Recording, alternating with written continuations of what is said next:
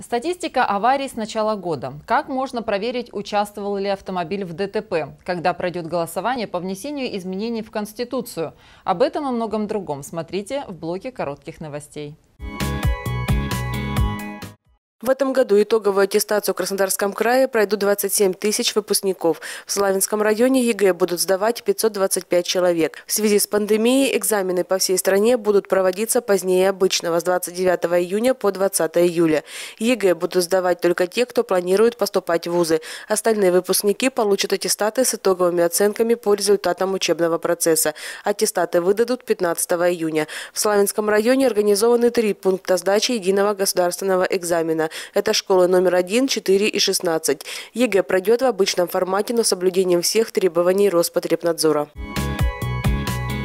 По итогам пяти месяцев 2020 года на территории Славянского района было зарегистрировано 55 дорожно-транспортных происшествий, в которых 6 человек погибло, 98 получили травмы различной степени тяжести. Среди пострадавших 6 детей. Основными причинами аварий стали выезд на полосу встречного движения и нарушение очередности проезда перекрестка неравнозначных дорог. С участием водителей мототранспорта произошло 8 ДТП, в которых один человек погиб и 9 получили ранения. Будьте предельно внимательны на дорогах и соблюдайте правила. От этого зависит ваша жизнь и жизнь ваших близких.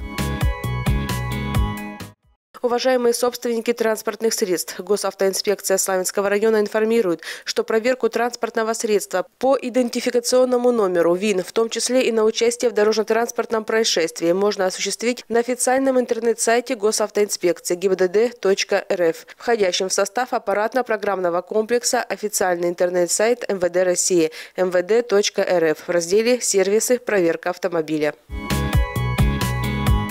С 8 по 15 июня Кубань присоединится к Всероссийскому донорскому марафону, приуроченному ко Дню России и Всемирному дню донора крови.